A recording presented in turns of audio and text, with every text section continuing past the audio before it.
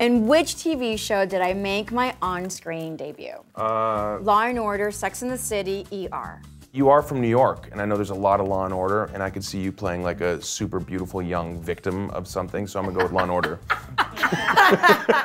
And did you play? Was it Law and Order?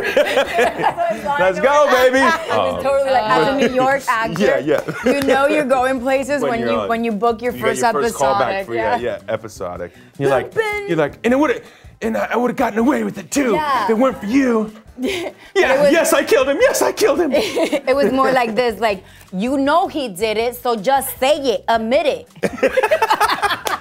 Like, great. Can we do it again? This time we'll really amp up the queens, but do it in a way that you actually hate Rosie Perez. Would you would you want me to say it in Spanish? Yes. Okay, that'd be great. perfect. Okay. Tú sabes que lo hizo, admítelo.